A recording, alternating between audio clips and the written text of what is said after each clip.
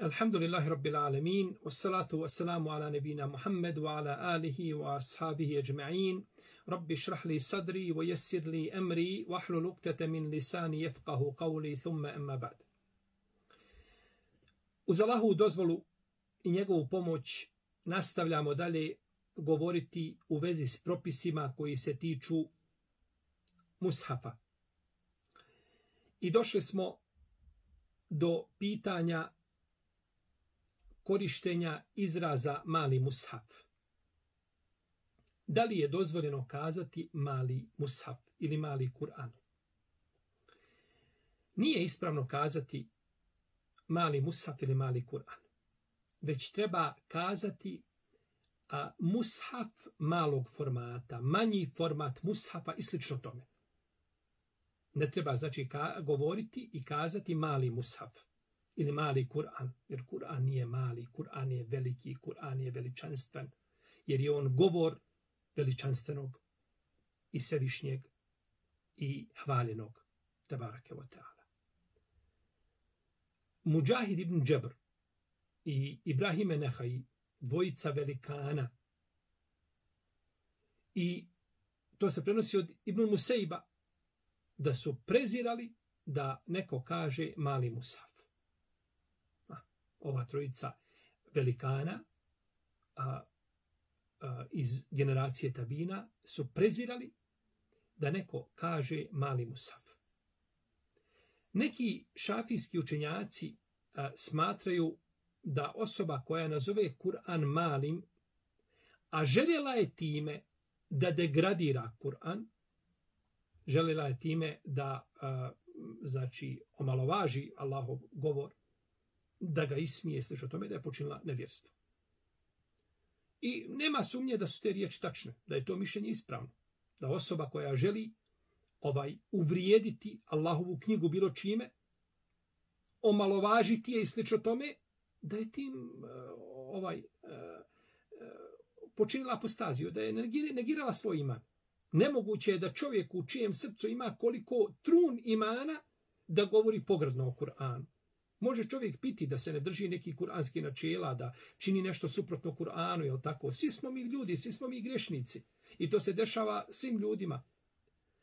Nekome više, nekome manje. Međutim, to je jedno pitanje. A potpuno je drugo pitanje da čovjek uvrijedi ovaj Allahov govor. Allahovu Allahov knjigu. Može biti da čovjek da je nepokoran svome gospodaru određenim pitanjima. Da mu ima nije dovoljno jak Ali da uvrijedi uzvišenog Allaha, to ne može biti. Jer time čovjek anulira svoj iman. Prestaje biti, znači, musliman. Prestaje biti musliman. Pa je zabranjeno, znači, kazati mali mushaf s nijetom da čovjek želi, znači, umanjiti vrijednost Allahove knjige ili da je želi omalovažiti. Neki šafijski učinjaci nisu smatrali zabranjenim kazati mali mushaf.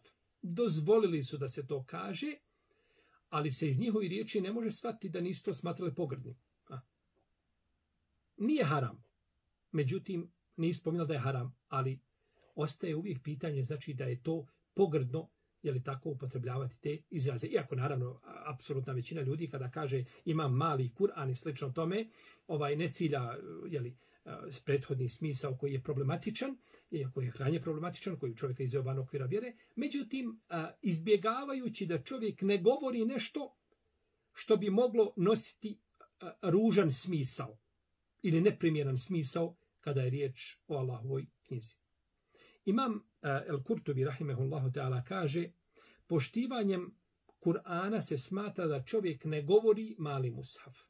Znači, u od sastavnih a, a, a, ovaj načina poštivanja Allahove knjige jeste da čovjek izbjegava riječ mali musaf. A šej Bekre Buzeid, naš velikan, rahimehullahu ta'ala, velikan današnjice, je rekao, kaže, ima jedno pravilo koje je spomenuo Ebu Hayyan, Alendelusi, kaže u vezi s ovim pitanjima. A ono glasi, nemoj koristiti deminutiv kada je u pitanju ono što je vjerska dužnost poštovati i uvažavati. Nemoj ga ti umanjivati. A, nemoj ga umanjivati. Pa su neki isto tako prezirali da se kaže mala džamija. A, Mala, mala džamija. Džamija, nije, džamija je velika. Ko sagradi Allahu e, džamiju, taman da je poput čaplinog gnjezda za jaja, Allah će mu sagraditi kuću u džennetu. Džamije su Allahove kuće. I one su velike. Iako ovaj gabariti te džamije možda bili mali. Ali je ali džamija nije mala. Pa kažu ovdje ne treba koristiti deminutiv u ovim, ovim jeli, slučajima. Došlo u jednom apokrifnom hadisu eh, od Ebu Horire da je poslanik sa osrem rekao i ovaj hadis bilježi imam Dejlemi u svome musnadu. On je, on je batil hadis je, jel tako, eh, ništavan, apokrifan. Kaže se da je poslanik sa njom rekao, kaže, nemojte govoriti mala džamija ili mali mushaf. Međutim, e, ovaj, veliki hadijski stručnjaci ovaj hadis ocenjuju izmišljenim da je jeli, hadis da je hadis apokrifan. Naravno ovdje postoji razlika između uh, Kur'ana i Mushafa. Često spominjemo Kur'an i Mushaf i tako dalje. A, a, Kur'an je Allahov govor. To je znači ono što je ispisano a, od Allahovog govora. A Mushaf a, je predstavlja tako knjigu, listove koji su ukorčeni, mastilo kojim su ispisani ajeti. A, Pa je razlika znači između između a, mushafa, je tako, i i Kur'ana. Iako se iako se ovaj često a, a, a, spominje jel tako Kur'an i Musaf spominju se u jednom kontekstu. Eh, eh, kada se kaže Kur'an cira se mushaf, kada se Musaf kaže cira se Kur'an i slično tome, tako da je ovaj to je poznato običajno pravo muslimana, eh, nešto poput imana i islama. Da tako. Tako da ovaj ponekad se koristi jeli, za, za jedna, jedan izraz, a cira se drugo, a cira se drugo znači. Da li je dozvoljeno ukrašavanje korica mushafa zlatnim nitima? ukrašavanje mushafa zlatnim nitima. Islamski učinjaci u vezi s ovim pitanjem imaju različita mišljenja. Da li se Kur'an može ukrašavati zlatom i srebrom? Većina učenjaka dozvolila je ukrašavanje mushafa zlatom i srebrom i nisu o tome vidjeli ništa sporno.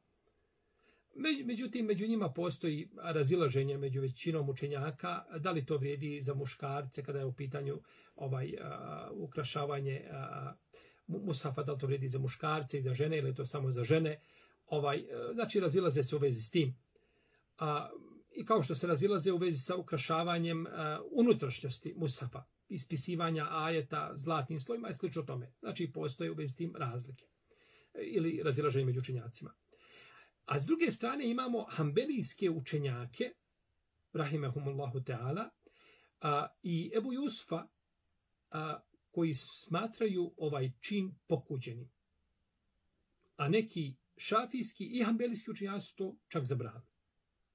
Čak su zabrali, znači, da se ispisuju, a, da se ukrašava Kur'an na ovakav način. Uh, imam Ibn Ebi Šejba je zabilježio sa vjerodostojnim lancem proslaca od Šahi kada je prinio od Abdullaha, to jest Ibn Mesuda radijallahu anhu, a, da je vidio a, a, mushaf da je ukrašen zlatom, pa je rekao, kaže, najljepše čime možete ukrasti mushaf jeste njegovo ispravno učenje. Najljepše čime se može ukrasti jeste vašim jezicima i vašim ispravnim učenjem, učenjem Kur'ana. A navodi se od Ebu Darda, kako bileži a, a, imam Ibn Mubarek sa dobrim lancem pronosilaca, da je, da je Ebu Darda rekao, kaže, kada budete ukrašavali vaše a, džamije i mushafe, bit ćete upropašteni. E, slična se izjava navodi od Ebu Hureyre, radijallahu ta'ala, ano. Znači, da nisu smatrali pohvalnim da se ukrašavaju, jel tako da se ukrašava, da se ukrašava mushaf. A došlo je Debu Saida el Hudrija i Zara radi Allahuma da su govorili kada budete ukrašavali mushafe bit ćete upropašteni. I došlo je kod Abdurazaka se vjerodostojnim lancem prenosilaca da je neko donio mushaf Ibn Mesaudu koji je bio ukrašen. Pa je rekao, kaže, najljepši ukras za mushaf jeste njegovo iskreno učenje. Znači vidimo stav Ibn Mesauda je jasan po tom pitanju. Da.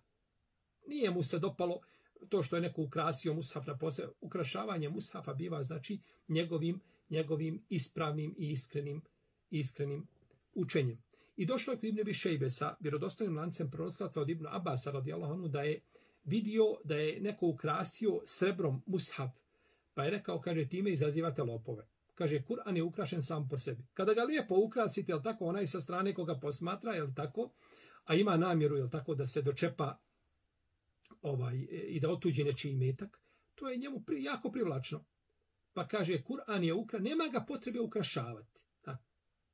On je a, a, ovaj ukra sam po sebi. Kao što Kur'an nema potrebe da, da, da, da, da bude, da ljude stimulišemo nečim na Kur'an. Ha. Da im damo imetak, da im damo položaj, da im damo nekakvu jel tako, privilegiju posebnu. Jer Kur'an sam po sebi privlači ljude.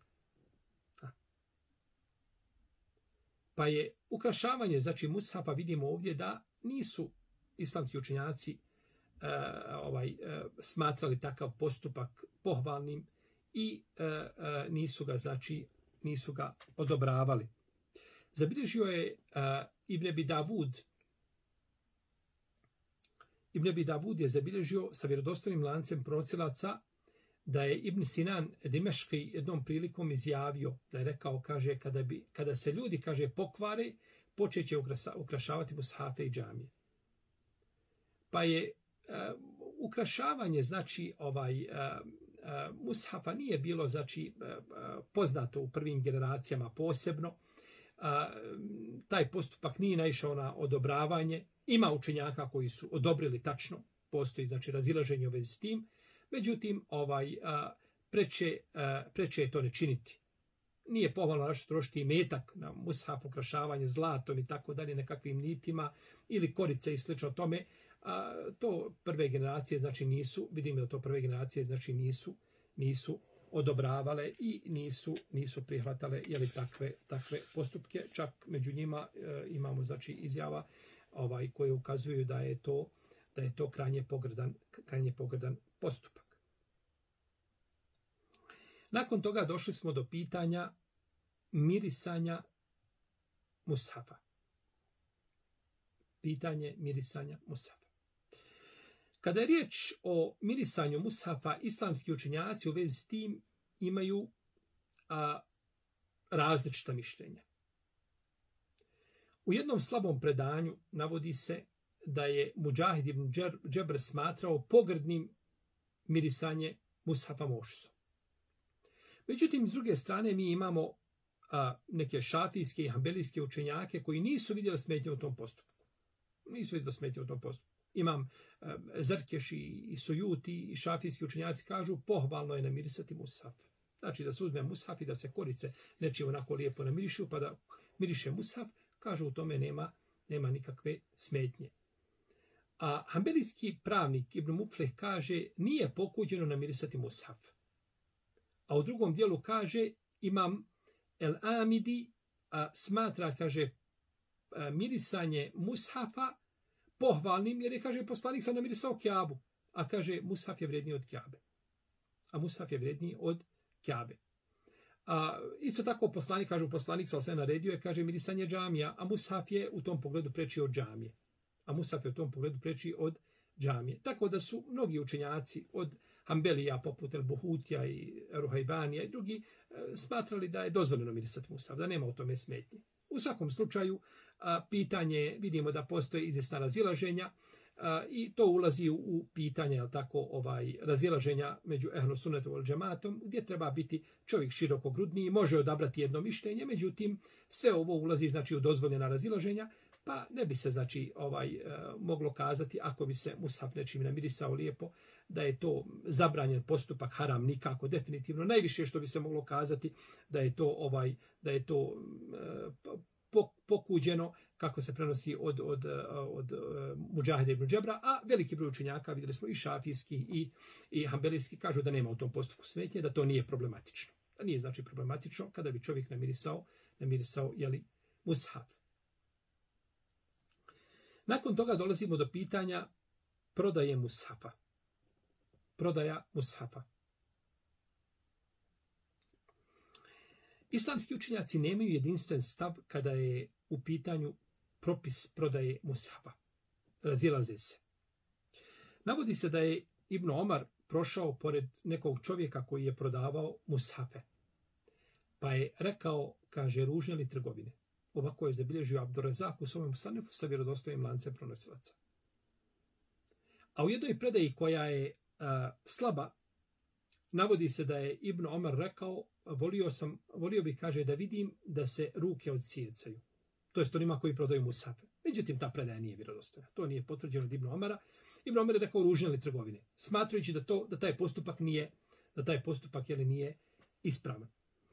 A došlo je kod imama Beheke s vjerodostojnim lancem prenosilaca da je Abdullah ibn Mesud radijallahu anhu smatrao prodavanje mushafa pogrdnim dijelom.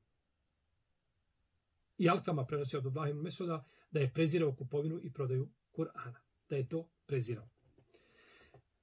I došlo je kod Abdurazaka s vjerodostojnim lancem prenosilaca da je Abdullah ibn Šakik prezirao prodaju mushafa i govorio je, a sahabi poslanika, sa osam kaže, su smatrali a, spornim prodaju mushafa. A u drugoj predaj kaže pogrdni. To pripisuje ashabima. Rahimahullahu ta'ala. Pa su mnogi autoriteti iz a, a, prvih generacija prezirali prodavanje mushafa. Oni su bili Abdurrahman ibn Auf i, i bio je Džabir i, i Ibn Abbas, Ibn Mesud, Ibn Omar i Mesruk, Enehaj, e, Muhammed ibn Sirin, e, Alkama, Ibn Musejib, e, Abida, Salmani i drugi smatrali su da je to pokuđeno. Smatrali su da je pokuđena prodaja, a, a, prodaja mushafa. Imam Neovi kaže, ili nakon što je spomenuo raziloženja među šafijskim a, učenjacima u vezi s prodajom mushafa, A kaže imam Neovi, rahimehullahu teala, ispravnije mišljenje u našoj pravnoj školi nalaže da je prodaja mushafa mekru. I kaže, to je imam šafija jasno spomenuo. To imam šafija jasno spomenuo da je predaja, znači da je, da je prodaja mushafa mekru, znači po mišljenju, jeli, a, a, imama šafije, ili, odnosno nakon toga ovi šafijski učenjaka koji su to prenili od imama, od imama šafije. I to su mišljenje preferirali mnogi učenjaci a, od šafijskih pravnika poput imama El Bejhaqija i a, jel poznatog hadisa šafijskog imama El Imranija, a, a, autora djela El Bejan, poznatog jel tako šafijskog, šafijskog učenjaka. Imam Ahmed je čak rekao, kaže, ne znam da je iko dao olakšicu kada riječ o prodavanju Musafa. Ne znam da je iko dao olakšicu. Međutim, E, postoji e, mišljenje, postoji verzija od imama e, Hasan al-Basrija, Ibn Hasan al-Basrija, tako, da je, da je to dozvolio, da je smatrao dozvoljenim. I to je prenosi isto Šabija i to se prenosi po jednoj verziji, verziji isto od Ibn Sirina i od Hakema Ibn Jejne i uh, to se prenosi od Malika i od Hanefijskih učenjaka i nekih šafijskih pravnika Ibn Hazma, da su dozvoljavali prodaju Musaba. Čak mi imam Begavi kaže, većina učenjaka je dozvolila prodaju Musafa i kupovinu Musafa. Potom je spomenuo skupinu učenjaka koji to zastupaju. Između njih su ima Maliki, Šafija i Hanefijski učenjaci. To, to se znači ovaj... Vidimo ovdje da su prve generacije možda bile malo u vezi s tim ovaj e, da su imale malo tvrđi stav e, za razliku od, od velikog broja fakiha koji su nakon toga dozvolili e, prodaju Musafa, naravno što, što u mnogo situacija to potreba nalaže, je tako da bi čovjek došao do Musafa da ga mora kupiti, a onaj ga tamo mora prodati da bi mogao je tako raditi e, i onda nekad potreba nalaže prodaju Musafa. Međutim, nema sumnje da je Musafe najbolje dijeliti kao poklone. Ako postoji mogućnosti, ako postoje donatori i ovaj e, ljudi dobre volje koji su spremni finansirati ovaj e, štampanje i podjelu Kur'ana, to je najbolje, bez imalo sumnje. A ako ne to, onda je najbolje prodavati mushafe po cijeni štampe. Znači da to ne bude nešto komercijalno, neko neka bude po cijeni štampe. A ako pak dođe da se zarađuje na musafima, onda najbolje da ta zarada ide ponovo u štampu drugih musafa, tako da bi se omogućilo što većem broju ljudi da dođu do musafa. Znači, bilo bi preče i sigurnije da, da čovjek nije, ne, ne trguje mus, mushafima, prodaje u smislu da zarađuje pare u smislu lične nekakve zarade, a, a, vlastitog profita, nego da to bude, znači, opet radi da se korist vrati ponovo ovaj jeli, na a, štampu mushafa ili prodaju i dijeljenje mushafa jeli, ljudima. A, došlo je od Ibn Abbas radijallahu anhuma i Marwan ibn Hakema da su upitani u vezi sa trgovinom mushafima, pa su kazali a, nema smetnje a, prodavati ih kao trgovačku robu, ali a, ne treba, kažu, ne treba na njima zarađivati. Nema smetje da čovjek, kažu, nema smetje da čovjek a, a, uzme, a, a, naplati rad svojih ruku. A, kažu tako, ne smeta da čovjek naplati rad svojih ruku. Znači, koliko je koštao Musav?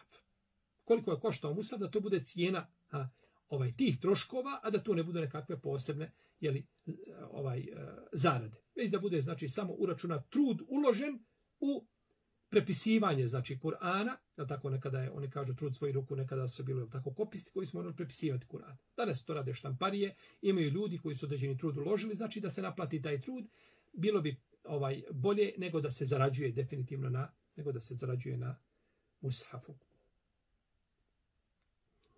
Potom imamo pitanje da li je dozvoljeno dati mushaf na ime mehra, na ime vjenčanog dara.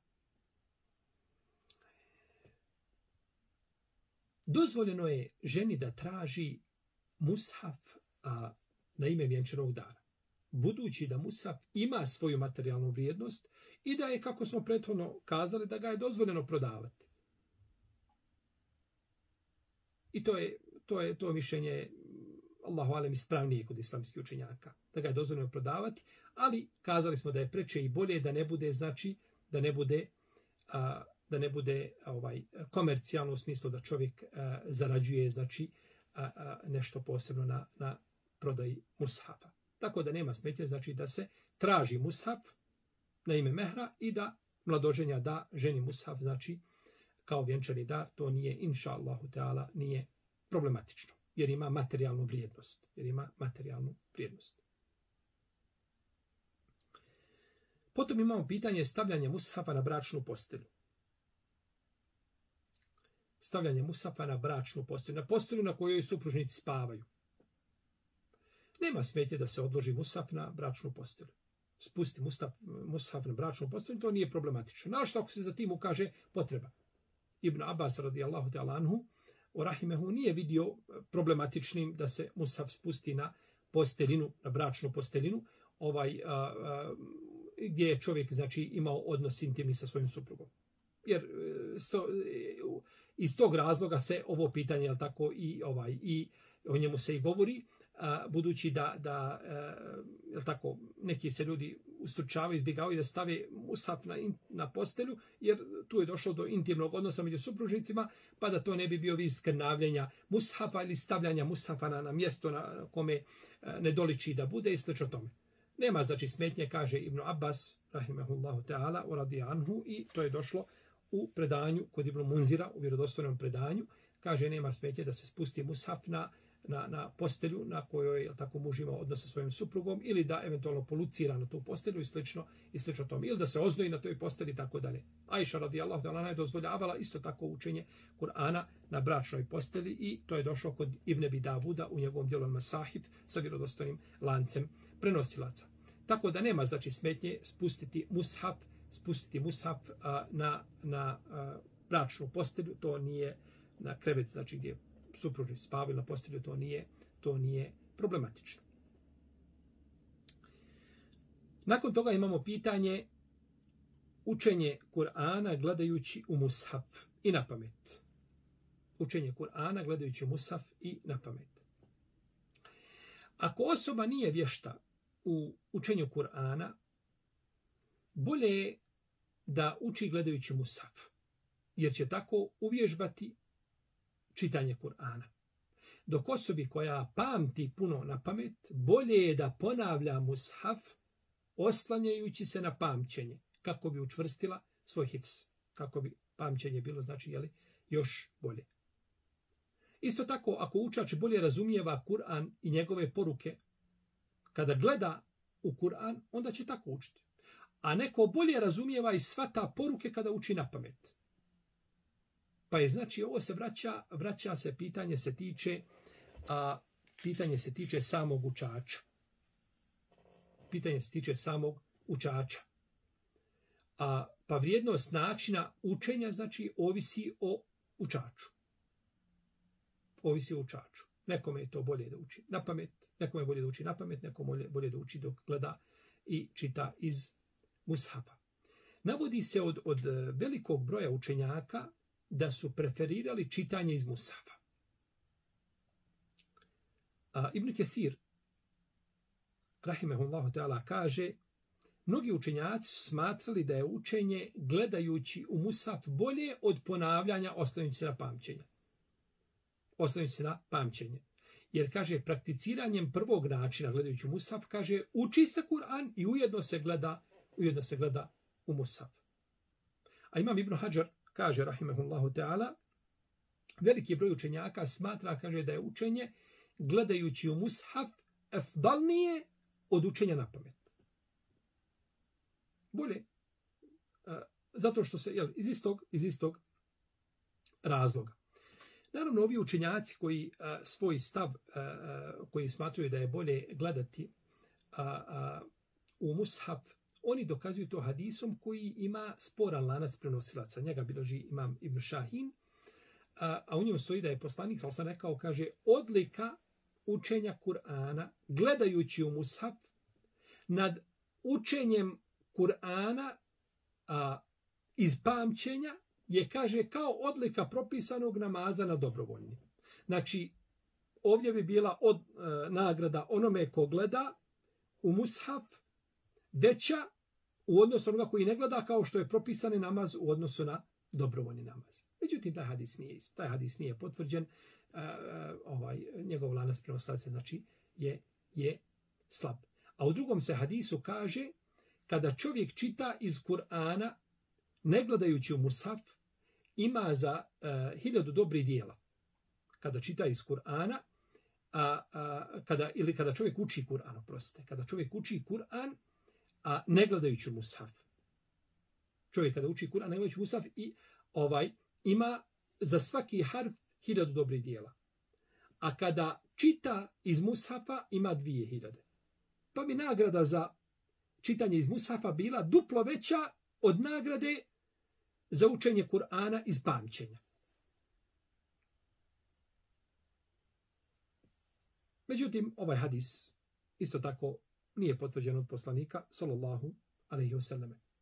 I e, drugi hadisi koji se navode u ovom smislu da je gledanje u Musaf, da je ibadet, isto tako nije potvrđeno od poslanika, sallallahu kao, kao hadis, tako. Da gledanje u Musaf da je to ibadet, nije potvrđeno ovaj uh, od poslanika sallallahu osaleme, uh, naprotiv ovaj uh, takav hadis su neki islamski učenjaci ocijenili apokrifnim. I u drugom apokrifnom hadisu stoji da je poslanik sam sam rekao dajte svojim očima udio u ibadetu, gledanju u mushaf, razmišljanju o njemu i uzimanju poruka iz mushafa. Međutim, nije taj hadis cijeli. Sve to nije potvrđeno od poslanika sallallahu alejhi ve kao što nije potvrđen hadis da je Petro da je Petro ibadet I između toga je spomenuo tako eh, ovaj konzumiranje malih količina hrane eh, sjedenje u džami, gledanje u musaf kaže taj hadis nije potvrđen od poslanika sallallahu nego se radi o ništavnom hadisu po ispravnijem mišljenju kod islamskih učenjaka Došli smo do pitanja učenje na namazu gledajući u Musaf. Učenje na namazu gledajući Musa. Musaf. Islamski učenjaci imaju podijeljena mišljenja kada je riječ o učenju na propisanim namazima kada čovjek gleda u Musaf. Znači da se uči iz, ovaj, u namazu, gleda se u Musaf na propisanim namazima. Tu postoje razilaženje među islamskim učenjacima. Imam Neovi kaže, gledanje u mushaf ne kvari namaz. Kaže, bez obzira na to da li čovjek a, ono što čita znao na pamet ili ne. Jer kaže, onome ko ne zna Fatihu, on mora uzeti da čita u namazu. To definitivno mora proučiti Fatihu. Tako. Pa se islamski učenjaci razišli u vezi s tim, a, u vezi a, s farzom. A, u vezi s farz namazom. U svakom slučaju a, a, ne treba čovjek a, ne treba čovjek gledati u musaf na farzu. Da stavi Musav ispred sebe i da na farzu na farzu treba znači da uči ono što je naučio na pamet. Taman to bile i kraće sure, taman to bili i da, da je to aje 2, 3 iz Kur'ana, odlomci kraći ili duži. Uglavnom ne treba da na farzu da gleda znači u musaf. To je preče ispravnije ovaj za razliku od dobrovoljnih namaza. Kada je riječ o dobrovoljnim namazima, tada je, jel tako, ovaj, postoji velika širina tu i ovaj može se koristiti. Musaf to nije problematično, jer se prenosi od naše majke Aisha radijallahu ta'ala anha, da je naredila svome slugi koji se zvao, e, zvao Zekwan. Naredila mu je da, ga, da, da je predvodi u namazu, u Ramazanu i da uči gledajući u Musaf. Pa kada bi imam predvodio ljude ovaj u na teraviji namazu i gledao u Musaf, ovaj namaz bio definitivno ispravan. Iako je preče i bolje da se ne gleda u Musaf. To je preče i bolje. A, međutim, dozvoljeno. Nije problematično a, da, da se na, na, jel tako, na dobrovnom namazu gleda jel tako, u Musaf. Pored toga što je dozvoljeno, ovaj postupak će rezultirati a, napuštanjem nekih sunneta.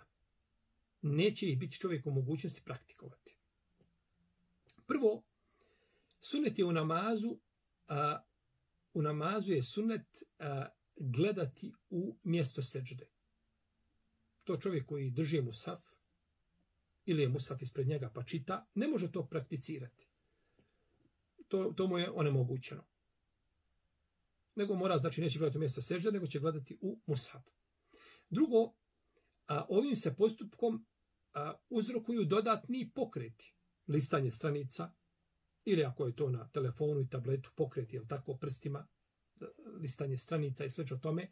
Uglavnom, ovdje se, znači, a, a, imamo dodatne, da, dodatne pokrete, a, našto ako imamo musaf manjeg formata, pa ćemo ga staviti u džep, pa ga izvati iz džepa, na seždu, pa ga ponovo uzeti, pa ga otvoriti, tražiti stranicu i tako dalje. Sve to znači, to je sve sto dodatni, jel tako, sve sto dodatni pokreti. A poslanik je sada rekao u vjerodostojnom hadisu, kaže, budite smireni u namazu budite smireni u namazu. Treće, neki islamski učenjaci iz prvih generacije smatraju da se učenjem u namazu, gledajući u Musaf, oponašaju Ehlul Kitab, koji gledaju Kitabije, gledaju knjigu svoju dok, dok se mole. Isto tako, skrušenost u namazu znatno opada. Znatno opada skrušenost u namazu, a, ovaj, dok se gleda u Musaf, za razliku čovjeka koji to uči na pameti i gleda u, u, ovaj, u, u, u mjesto seđde a, kao što je sunnet u namazu staviti desnu ruku po lijevoj. A onaj ko drži, ne znam, mushaf ili drži mm, ovaj mobilni aparat i slično tome, da, da bi čitao, on neće praktikovati taj sunnet. Ne može prakticirati taj, ne može prakticirati taj sunnet. Tako da a, ovo u svakom slučaju znači ovaj ovaj postupak rezultira a, sa a, a, skupinom a, a, postupaka koji su u suprotnosti sa sunnetom neće čovjek znači moći praktikovati a, a, nekoliko znači sunneta koje je lijepo praktikovati, koje je lijepo praktikovati u namazu. Mi ćemo inshallah taala u našem narednom predavanju nastaviti govoriti o propisima vezanim za a, a, mushaf, a prvo o čemu ćemo govoriti jeste pitanje kvašenja prstiju pljuvačkom radi lakšeg listanja mushafa. Molit će da Tabarak Tala nas upute na ono što je najispravnije, na sučnosti na dini islamu i da nam od naših dijela učini najboljim zadnja od njih. Allahu ta'ala alam. Wa sallallahu ala nabina Muhammad wa ala alihi wa sahbihi ajma'in. Wassalamu alaikum wa rahmetullahi wa barakatuh.